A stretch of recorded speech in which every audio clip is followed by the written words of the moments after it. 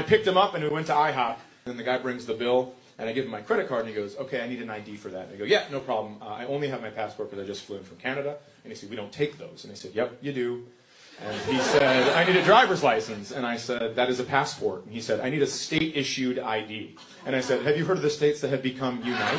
Because there are 50 of them, and they all got together and made me that book." That's like 49 extra driver's licenses. As a matter of fact, if you handed me your driver's license, I would use it as a bookmark in my passport.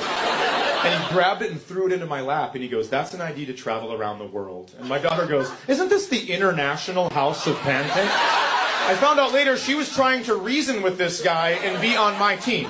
Ripped them off her face and just been like, Sir, does it not make sense that a passport made by these United States of America would be a sufficient form of identification at the International House of Pancakes. Case dismissed.